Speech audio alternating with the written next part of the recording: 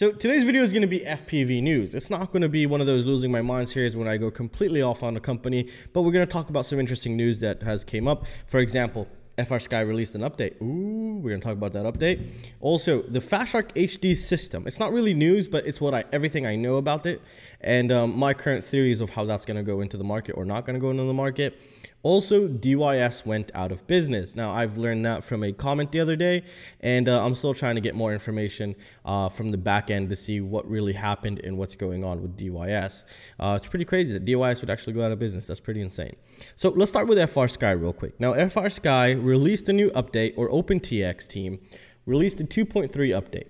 This was released September 27th, a day or two after my video of going off on them. I'm not saying that my video was related, but I'm pretty sure they, they read that and they saw your guys' feedback. Forget what I had to say. And we saw that everybody, all of you guys, were going off on them. So they've released an official update, which is out of the box, or at least out of the update, you will have Crossfire. You'll also have multi-protocol module and some other nice little updates here and there. But those are the two main things. However, D8, it's still hanging up in the air somewhere. So we're going to have to wait to see what's going to happen. But obviously, if you guys bitch hard enough, then we can probably get that back in. So that's what the comments are for. Do that.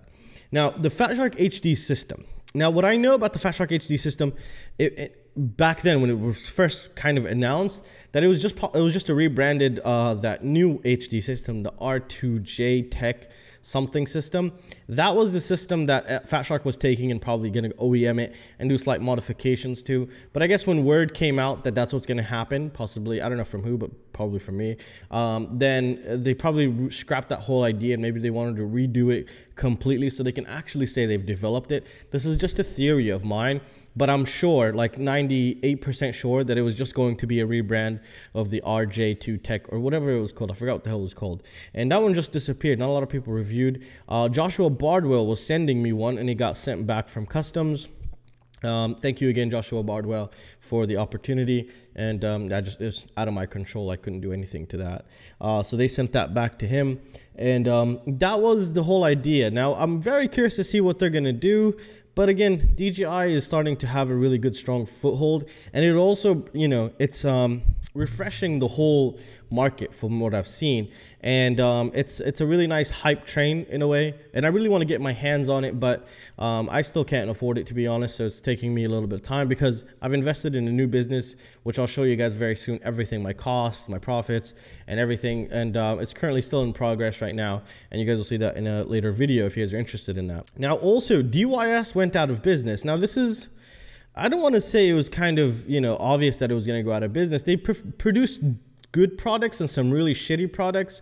Um, you know, I've had firsthand uh, experience with the shitty products they produced, and I wasn't really never, I was never really a fan of their motors. Their motors always felt to me very underpowered.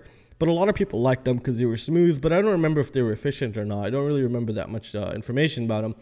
But the brand never really sank into me. And the reason for that is, if you remember three years ago, they released that F4 all in one omnibus flight controller. It was terrible. It was, oh, it was hideous. Uh, so many problems, uh, so many duds out of the box. It was just an absolute nightmare to work with. I think that was one of their first big hits. Now I'm still trying to figure out more information about why the company closed. Obviously, there's no sales, but um, something happened, and I'm gonna do my best to get that information. I'll probably be up on a losing my mind episode or something. But yeah, so they've closed. Um, also, their Sun motors, whatever they were, those budget line motors, uh, I got duds when I first received mine, so that the review never really came out because I was nothing for me to fly. I was still waiting for replacements to actually install and go test but never really happened. So that's also one thing. So they do have some questionable quality here and there. But at the end of the day, I remember the DYS Aria ESCs was one of the best ESCs they've released back then, but a lot of companies easily surpassed that as time went by. But it's still a good ESC. The deal, the first DYS Arias, I know a lot of people are actually still using those um, ESCs, so those are great. Um, what else do we have? Also, the Slims are pretty decent, but I guess now the company's possibly shut down. I'm not sure that it's fully shut down, but I'm guessing they're taking a big hit because we really don't see any more innovation from DYS nor new motors. Um, and I, I, don't know what's going on. Someone's taking that huge ass market share, but I'm pretty sure it's iFly and Mamba um, because you know it just doesn't make sense to pay 20 bucks for a motor anymore. Um, so yeah, I think that's what's going on. Maybe $16 maximum. I mean, probably pay 20 bucks if you're getting a T motor, but it's really uh, it, it, makes you think twice because anyways you're gonna break the motor but then it comes down to the person's use case but most average users would be like okay why the hell am i gonna pay 20 bucks when this $10 motor performs as good as that? And anyways i'm gonna break it. So in the long run it's much cheaper cost. Um, so I think that's what's really going on the motors because DYS was just really producing more motors than anything if I remember correctly. I could be wrong, but all I remember from DYS are just motors, nothing else and um, I always felt them underpowered. Not that they're bad or anything, just for me, they always felt very underpowered for some reason. And a lot of people like them. They say they're really smooth, they're really great. Some people, some people don't like anything. You know, some people don't like this, some people like that. I don't know. But for me, they were underpowered. I'm not saying I don't like them, but they were just underpowered. I never really liked them that much. Uh, I'd prefer something else usually. So DYS shut down. On, I there's a lot of other companies that actually shut down too. I should make a list of those. But I, I know for sure a couple companies that are not going to be going away. Holybro. Um, what do we have? Flywoo is doing very well. iFly ain't going anywhere anytime soon. They're just releasing beast after beast after beast. Uh, what else do we have? Matek. Matek is not going anywhere. Matek is their own in-house manufacturer, designer, developers, research development, everything. Matek doesn't even need marketing. You know, Matek just has its own like high. I, I put Matek in a in a special class in this industry because it does everything by itself. And it had that one big fuck up. You guys remember that one with the Matek F405 with the ICM gyro with the yaw twitches. That was just one of the worst things that ever happened to Matek. Uh, but after that, they've learned from that, and you don't see anything. It was just that one mistake. It almost really, it really hurt them. I guess I don't know how bad it hurt them. I'll try to figure that out but um, it was it was pretty devastating. I mean, even for me, I had that issue, and um, but they fixed it, everything up after that, and now they're just back in the game. And um, we're still waiting for that one wire ESC. So basically, you control a four, four they made it four in one ESC that's controlled through one wire, but it is uh, experimental software. It's their own firmware. Uh, but if they do it right, they could probably license it also to other companies. Since they're in China, they could probably even do it cheaper than BLHeli 32.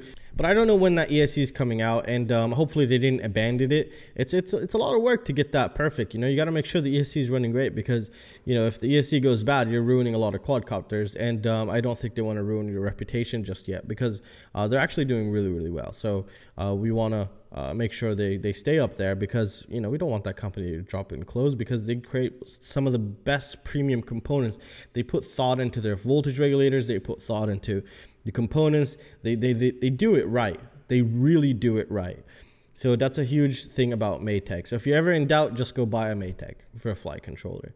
And uh, they specialize in flight controls. I mean, that's like their specialty, PDBs and flight controllers.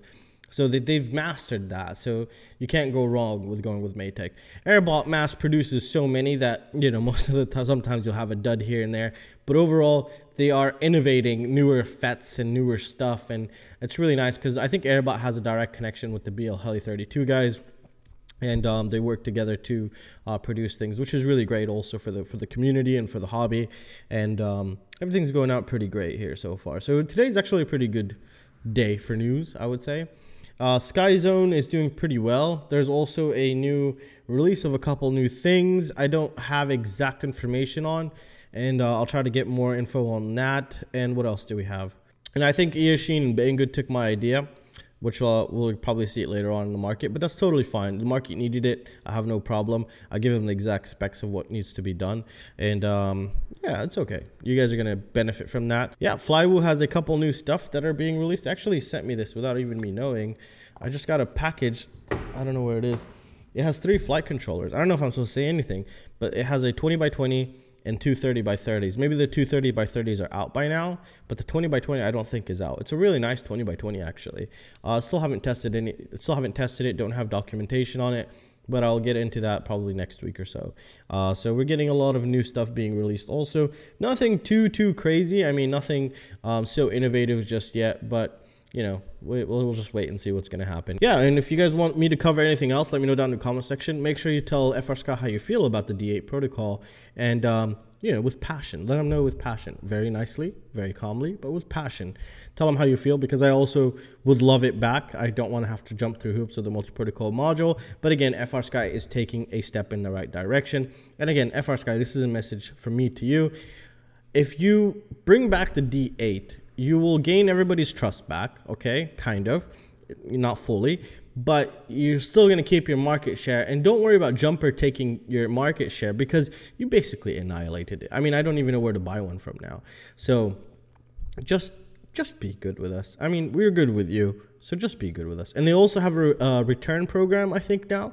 Double check this. Email FrSky for the R9 system because the R9 system now, uh, the newer R9 receivers will not work on the older R9 modules. So there is some kind of a return program that you could do where you return it and then they give you something. So I'm not sure how that works, but you guys email them if you have those. I'll probably email them also and have this in a later video. And um, I'm probably planning on making a dedicated video message just to FrSky here. And I really hope you guys enjoyed it. Now, to support the channel, make sure you click every goddamn link down below and come join me on Patreon. I have a FrSky X9D plus 2019 giveaway in a couple days and also the Skyzone OLEDs and also a quadcopter and some other things as well. And you also get access to my secret shop and you also get my project files, everything, my schematics, my project files. So come join me on Patreon, support this goddamn channel, and I'll see you in the next one. Peace out.